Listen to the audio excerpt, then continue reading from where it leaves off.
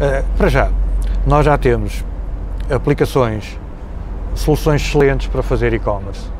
Eu lembro, no, no final dos anos 90 e o início deste século, uh, a dor de cabeça que era para arranjar qualquer coisa minimamente decente para vender online, porque ou eram projetos feitos à medida caríssimos e ineficazes aqui ou, ou ali, uh, ou então eram apêndices de ferramentas de gestão de conteúdos, uh, mas também com imensos problemas, seja no, no pagamento, seja com, com imensos defeitos. Então, aquilo que nós agora vemos é que já há plataformas de excelente qualidade que cumprem os requisitos de simplificação, de credibilidade e quase que alguns até quase que têm um roteiro de como fazer.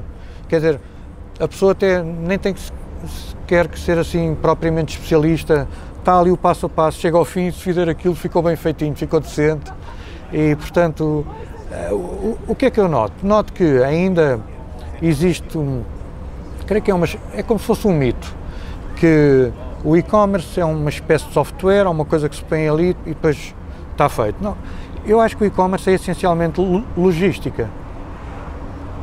O e-commerce assenta essencialmente em, numa dimensão offline, aqui, terrena, eh, desde a questão da entrega, ao stock, à credibilidade, comunicação, eh, colocar eh, umas fotografias decentes para que a pessoa possa tomar a decisão, colocar uma bela descrição, uma boa ficha técnica, se for caso disso.